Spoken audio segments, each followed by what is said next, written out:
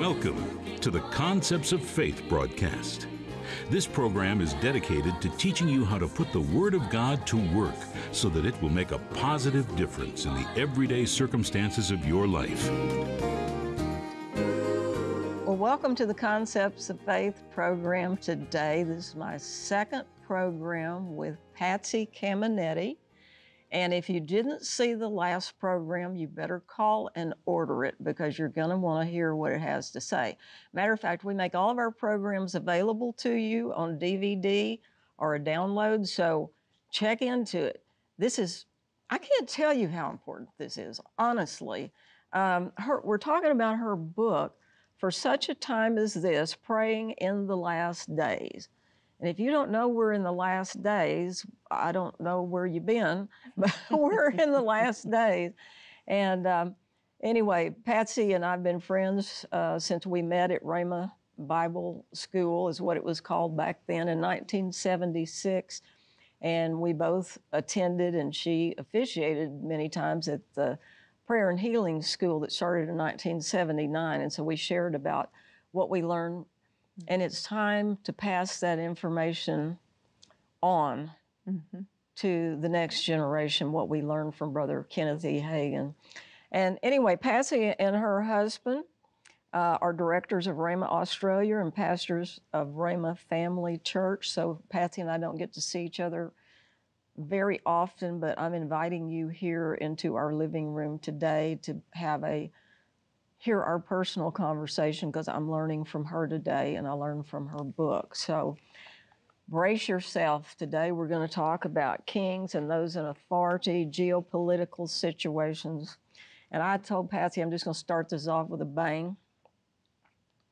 And I believe I quoted this out of your book. Correct me if I'm I'm not doing this right. Some listen, Stop what you're doing and listen. Some prophecies can only be fulfilled and accomplished by wicked kings. Patsy, what in the world does I mean seriously, we I've had people and I promised I'm going to shut up here in a minute, but I have had people call my office, have people talk to me personally, ministers that said we're praying that this political leader will die. And there, because I can't, in all good faith, pray for this person. I can't tell you how much that's happened. What did you mean? well, I think the first point has to be what are we going to take as authority? Is it going to be our opinion? And, um, you know, surely our opinion is the most important, and surely the God of the universe is is um, consulting us uh, and our opinions. Actually, he is not, and his word is final authority. So, uh, the challenge, Annette, was when we take all of these things to the word and submit everything to the word, it, it comes up a little different. And I think there has to be some humbling to the word and what the word has to say about it. So um, it was way back when we were praying for um, the Soviet Union. And Brother Hagin was leading us in prayer. We had not prayed these prayers before.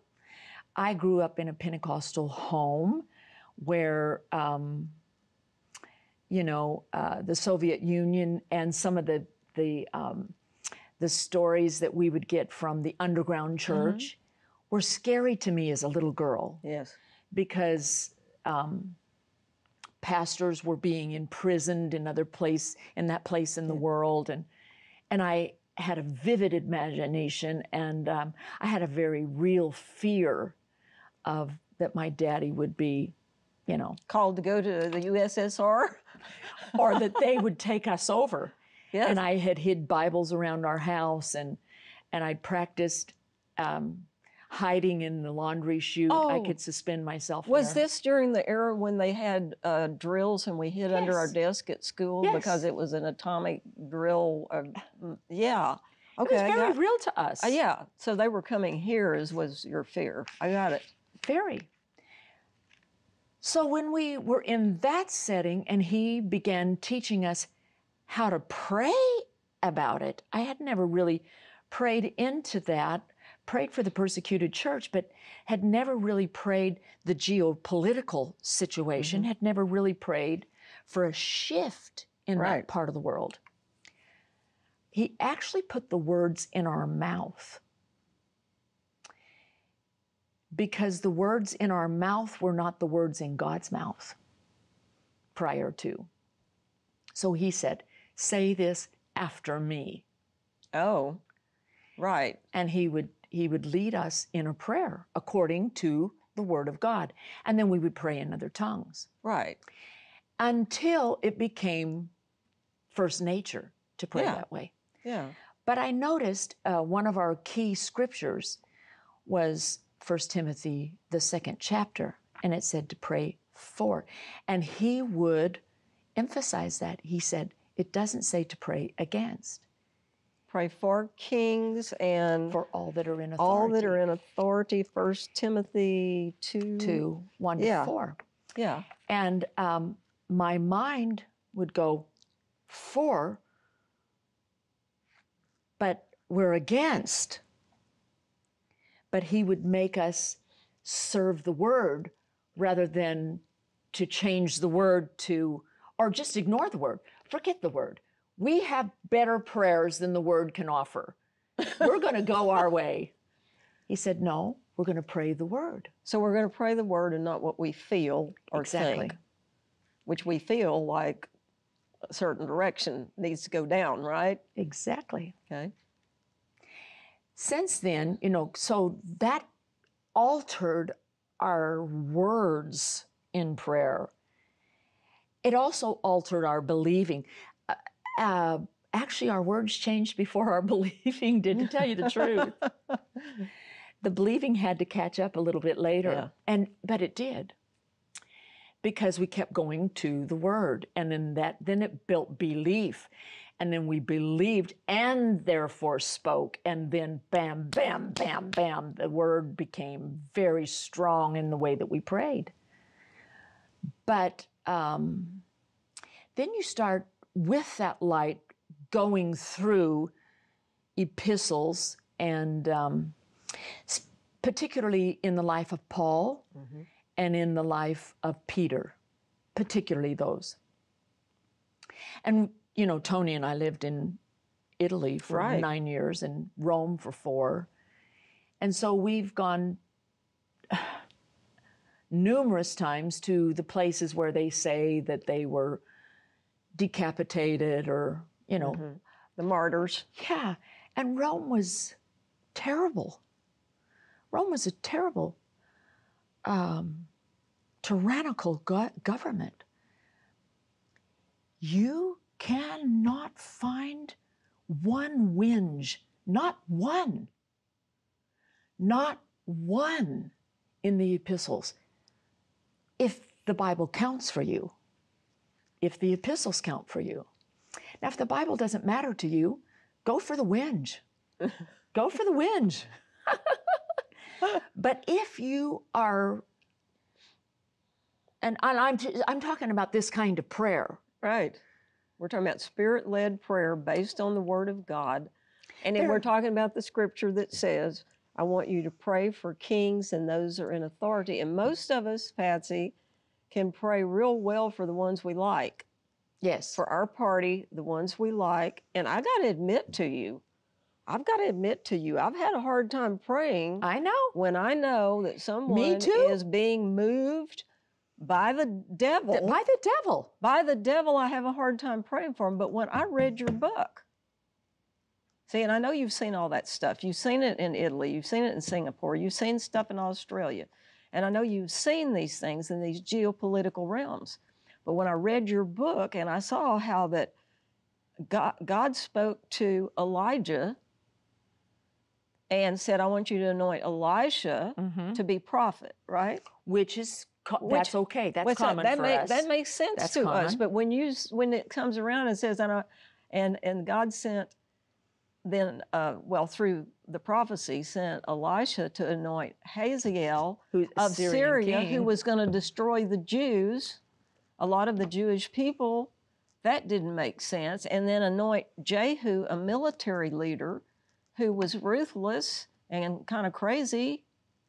Then, you know, I'm going, what? Where is this anointing going? This anointing? I thought the anointing. it's anointing. I thought anointing was on preachers. And on good people on good that people deserve the anointing. that deserve it. But you're talking about Hazael, a wicked, uh, well, a pagan, right? And he's anointed, but God's plan, God's plan. God's plan. And that's what I read a minute ago. Some prophecies can only be fulfilled and accompl- or accomplished by wicked kings. Yes. So you're not praying for bad things to happen. This is where people get mixed up. Well, that's praying for the devil to do something. No, no, no, no, no. But know where you're getting into. Please understand this. I want you to listen closely to this. oh, yes.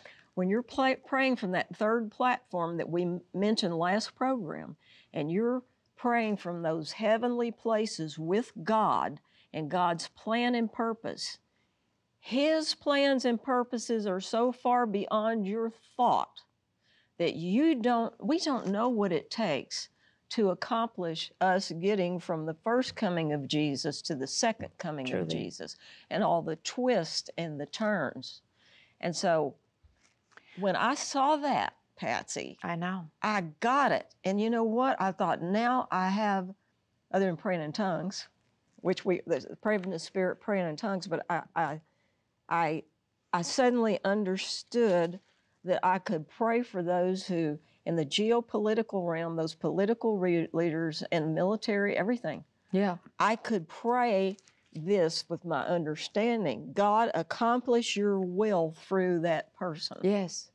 Now, that person may be wicked, but you know what? God is greater than the wicked, God is greater than the Oh. devil. Oh. And God is able to use wicked Oh. people Yes. to accomplish things in the realm of the spirit that we don't understand. And it's not that God is doing bad things to people, No. it's just that God is moving things into position. Okay, I'm sorry, I've, but I've got to get this across to our audience. Okay, so Do it. just jump in anytime you want to. But you talk you talked in your book. This is for such a time as this by Patsy Cameneti. You've got to have this book. Absolutely have to have it. It has done so much for me.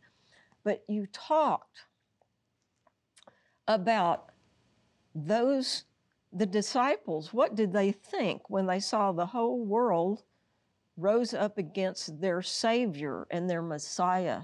And to kill, kill him. You talk about Pontius Pilate. You talk about the religious Jews that wanted to kill him. You talk about the Romans who crucified them, who were wicked. Folks, think about this a minute. The Romans were had the most wicked means of killing criminals, and they crucified an innocent man. And yet, if if that that was the plan of God for Jesus to be crucified, if God hadn't used those wicked men, the prophecy to save your soul wouldn't have been Wouldn't have happened. You know, there there's three kinds of kings. David, we love that kind. The one Yeah. that loves God, you Yes. know, and I can pray for I can pray for that one. Oh yeah, we love that king. Loves God, seeking God for his people. Okay, we love that guy. We we love Cyrus. Cyrus isn't a believer, but he's compassionate towards believers. He's sympathetic towards their causes.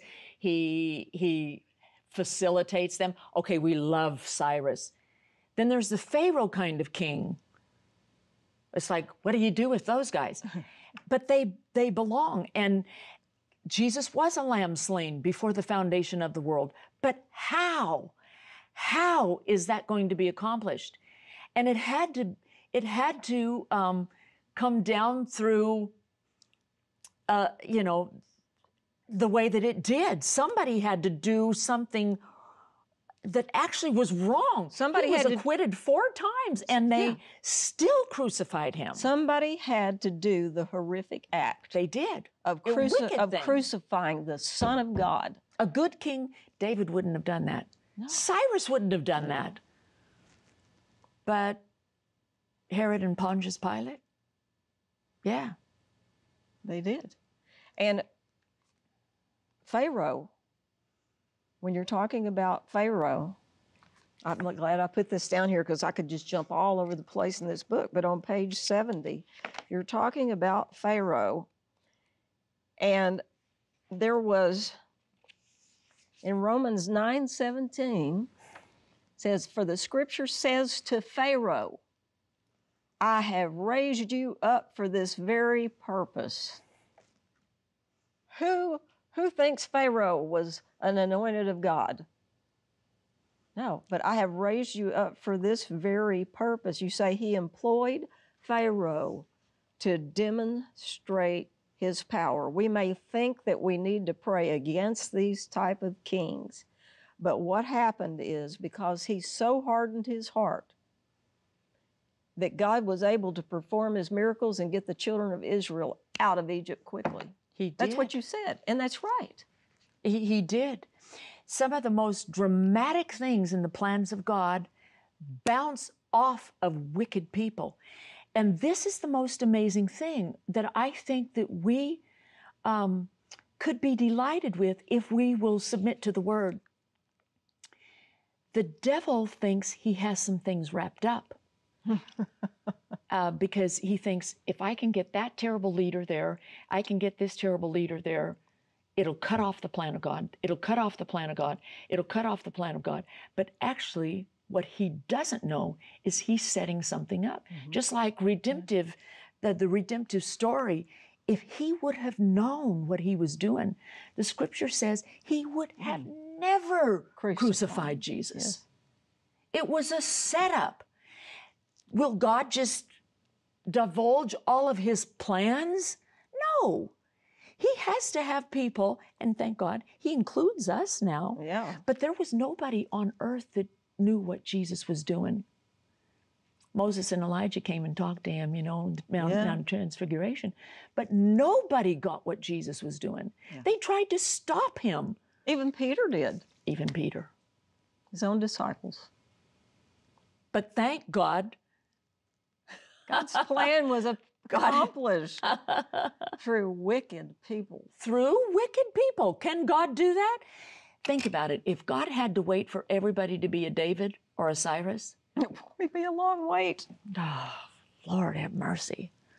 But God can move kings and people and places and you know even geography can shift even geopolitical systems you know this is i just recently ministered on this on the those those rulers i'm going to call them rulers of darkness that's not the exa- but the rulers of darkness over different countries you know like Yes. uh, daniel with persia Yes. and the king of Persia, the prince of Persia, you know, the king of Tyre. All of this, these are not, these rulers are being moved by those who are reigning in the spiritual wickedness in Mhm. heavenly places. And those borders shift Yes. and contract and expand according to what's going on down here. And it's, is it, Patsy?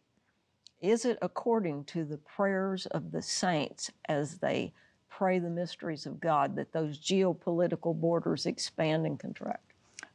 We are the only ones that have higher seating than any of them.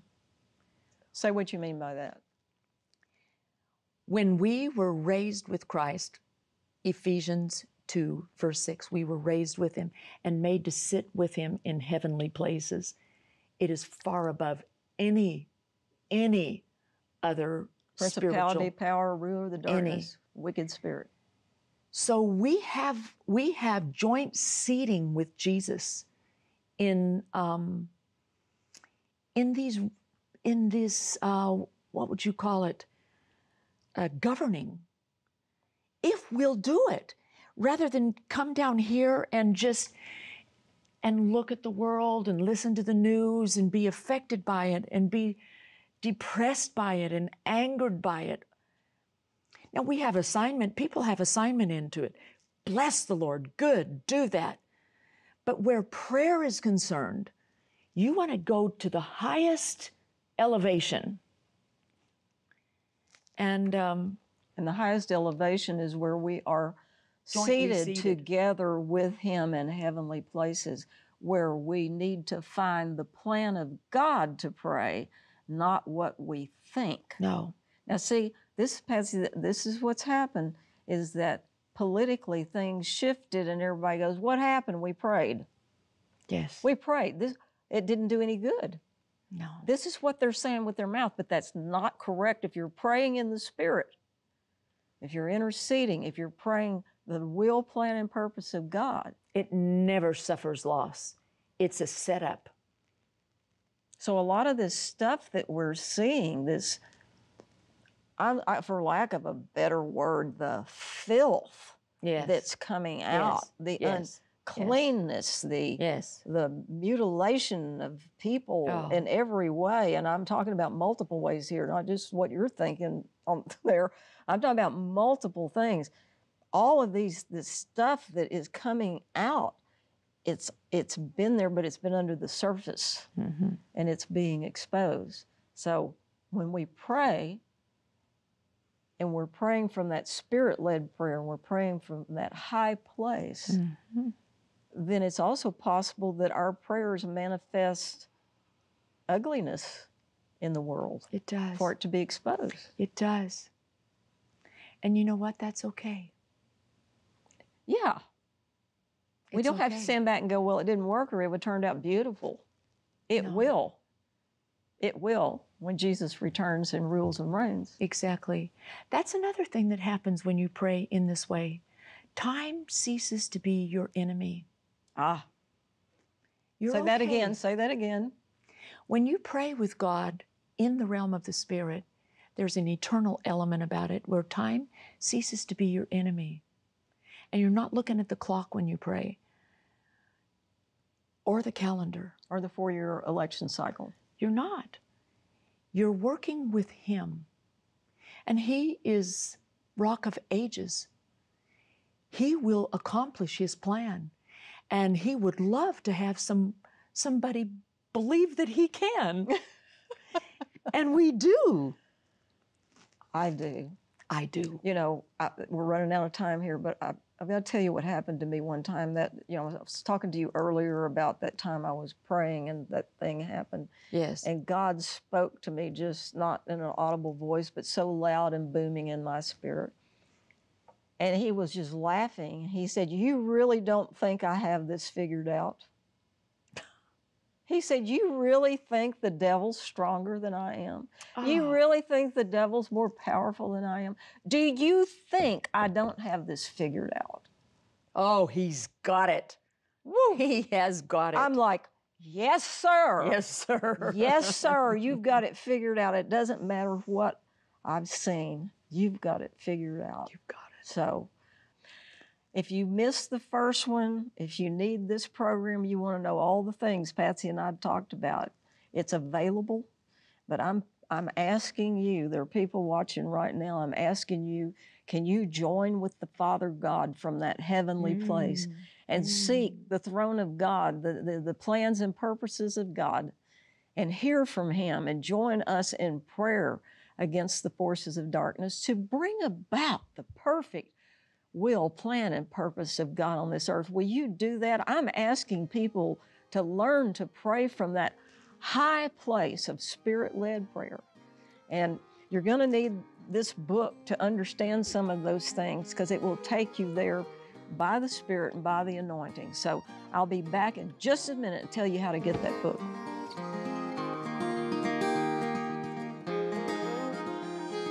Wow. That's all I have to say is wow. Learning about these three platforms of prayer from Patsy, learning about the things uh, that we need to know about praying in this last day is powerful. You've got to have this book for such a time as this, Praying in the Last Days. This book has been fantastic. It's just amazing. There's so much that will help you to understand, especially about areas of, about geopolitical things, uh, about uh, governments, praying for government when you don't want to. It's great. So I'm going to make this offer to you. It's offer $29.24. It's $16, and that includes shipping and handling. And I'm going to include a little pamphlet I wrote called How to Pray the Prayer of Faith. And it's just simple directions on how you can pray the prayer of faith. So the, that you can order for $16. You say, Oh, I ordered that last time. Well, look at this. I've got a book that my dad wrote, Charles Capps, called Releasing the Ability of God Through Prayer. There are some things that God can only do through your prayers upon this earth. You say, Well, I thought God could do anything. He can, but there's a lease on the earth in a specified period of time. And He's given the authority to the body of Christ. And there's so many different types of prayer so you need to get a good foundation on how to pray. And the areas that Patsy and I are going into on these programs are praying from the heavenly places and the throne of God, praying His will, plan, and purpose. This book fits right into that because it talks about some of the areas of the Bible, some of the scriptures have been used that have caused people to misunderstand what praying is all about. For instance, you remember the parable Jesus gave of the unjust judge and the widow.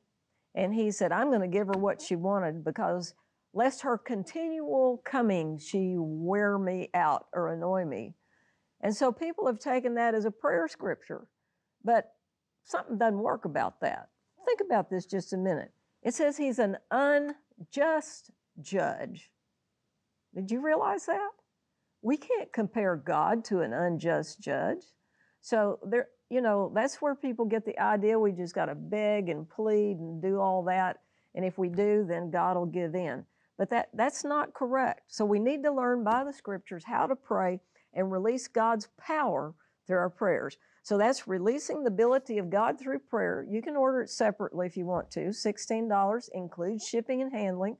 Or you can get all three of these items for a cost uh, I should say, a gift of $23 to this ministry, and that includes shipping. I don't have to tell you what a great deal that is because this book, you know, two of them at $16, and we're including the pamphlet. So, most of all, I want you to have this so you know how to pray, so that you can stand with us against the power of darkness that's in your life and that's trying to come against our country and trying to come against the world. We rule and reign with Christ. So gather up your authority and stand against it.